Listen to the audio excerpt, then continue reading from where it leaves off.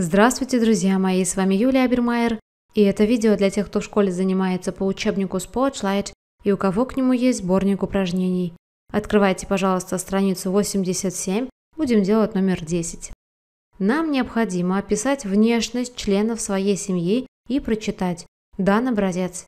My mommy has got fair hair, blue eyes, small ears, a small nose and a pink mouth. She is pretty. У моей мамы светлые волосы, голубые глаза, маленькие уши, маленький нос и розовый рот. Она милая. Ребята, обратите внимание, что в данном задании нет единственного правильного варианта ответа. Вы можете воспользоваться моими идеями или придумать что-то свое.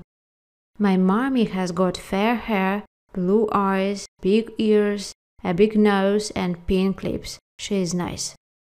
У моей мамы светлые волосы, голубые глаза, большие уши, большой нос и розовые губы. Она милая.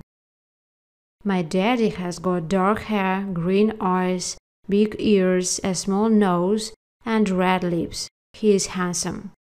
У моего папы темные волосы, зеленые глаза, большие уши, маленький нос и красные губы. Он красивый. My sister has got red hair, blue eyes, big ears, a big nose and a pink mouth. She is cute.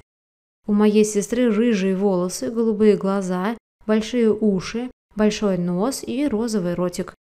Она милая.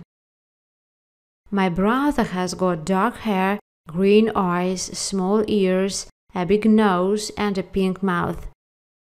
У моего брата темные волосы, зеленые глаза, маленькие уши, большой нос и розовый рот.